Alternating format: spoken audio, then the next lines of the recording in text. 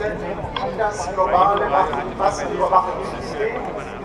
Zweitens gegen millionenfacher Verletzung der Privatsphäre.